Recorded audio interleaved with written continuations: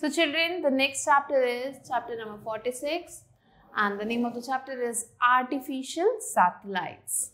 An artificial satellite is a man-made object. ये जो है एक man-made object है that revolves around the planet. जो क्या करता है planet के सब तरफ़ revolve करता है in an orbit, एक orbit में. Artificial satellites are an essential part of our daily life ये जो आर्टिफिशियल सैटेलाइट्स है, ये हमारे डेली लाइफ का एक बहुत ही इंपॉर्टेंट पार्ट है। They are used in weather reports इन्हें जो यूज़ किया जाता है वेदर रिपोर्ट में। वेदर रिपोर्ट बताते हैं ये artificial satellites newspaper to speed up transmitting text and images तो न्यूज़ पेपर्स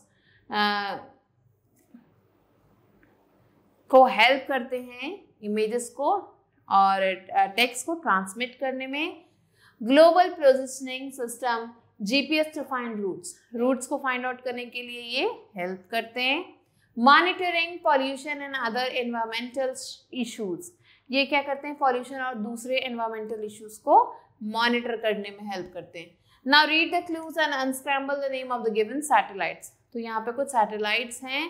उनके नेम दिए गए हैं we have to write their names so first one is first artificial satellite satellite launch by Russia in on four October 1957 so so, पहला artificial satellite आपको बताना है जो रशिया ने लॉन्च किया था 4 अक्टूबर 1957 पे. So it is Sputnik one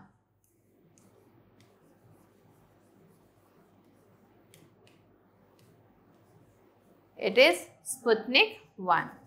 Second one, launched by NASA in 1990.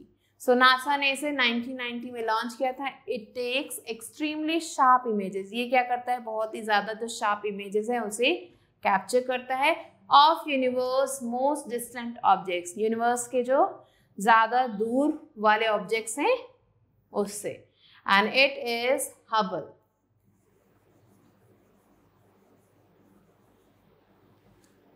Is it clear? Now children, let's move on to, did you know?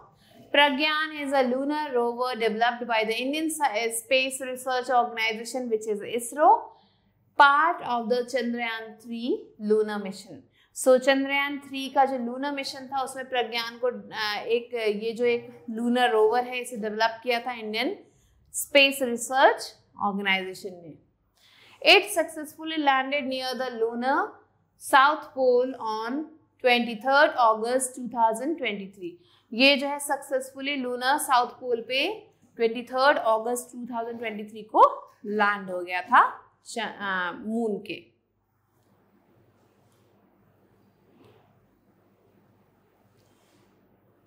So children like this find out the name of these artificial satellites that are written here